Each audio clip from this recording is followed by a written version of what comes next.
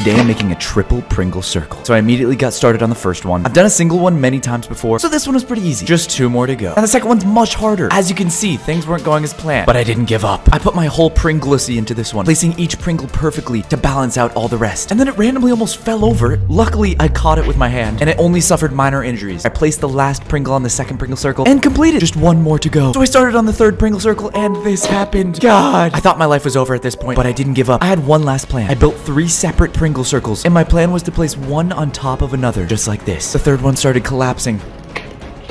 I spent about five minutes just standing there trying to balance the third Pringle circle. Pringles kept falling off left and right. The last circle just kept falling apart. This seemed impossible. More and more Pringles just kept falling off and, well, this is where I gave up all hope and let go.